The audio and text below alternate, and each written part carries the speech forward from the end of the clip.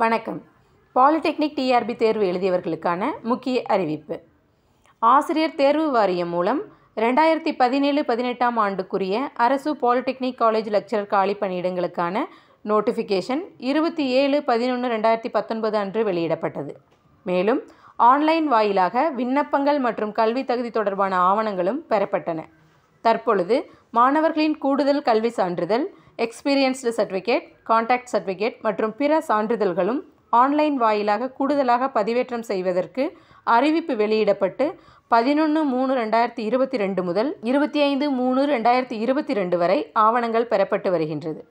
இக்காலக்கெடு இருபத்தி ஐந்து மூணு ரெண்டாயிரத்தி இருபத்தி ரெண்டிலிருந்து ஒன்று நான்கு ரெண்டாயிரத்தி இருபத்தி ரெண்டு வரை நீட்டிக்கப்பட்டுள்ளது.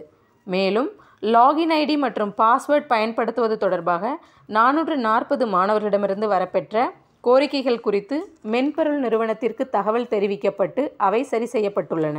மேலும் இருநூற்று நாற்பது மாணவர்கள் தாங்கள் இறுதியாக பயின்ற கல்வி நிறுவனத்தில் பெற்ற மாற்று சான்றிதழில் நன்னடத்தை பற்றிய விவரம் குறிப்பிடப்பட்டுள்ளதால் தனியாக நன்னடத்தை சான்றிதழ் பெற வேண்டுமா என கோரிக்கை வைத்திருந்தனர். ஆசிரியர் தேர்வு வாரிய குழு கூட்ட முடிவின்படி நன்னடத்தை பற்றிய விவரம் மாற்று சான்றிதழில் குறிப்பிடப்பட்டிருந்தால் அம்மாற்று சான்றிதழையே நன்னடத்தை சான்றிதழாக கருதி அதனை பதிவேற்றம் செய்யலாம் என முடிவெடுக்கப்பட்டு அதன் விவரம் சார்ந்த விண்ணப்பதாரர்களுக்கு அவர்களின் மின்னஞ்சல் முகவரி வாயிலாக தகவல் தெரிவிக்கப்பட்டுள்ளது.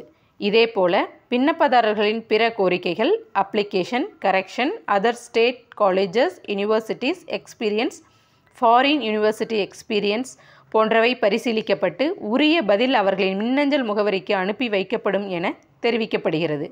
எனவே ஆசிரியர் தேர்வு வாரியத்திற்கு மின்னஞ்சல் வாயிலாக கோரிக்கைகள் அனுப்பியுள்ள மாணவர்கள் தங்களது மின்னஞ்சல் முகவரிக்கு ஆசிரியர் தேர்வு வாரியத்திடமிருந்து பதில் பெறப்பட்டுள்ளதா என்பதை அவ்வப்போது உறுதி செய்து கொள்ள தெரிவிக்கப்படுகிறது.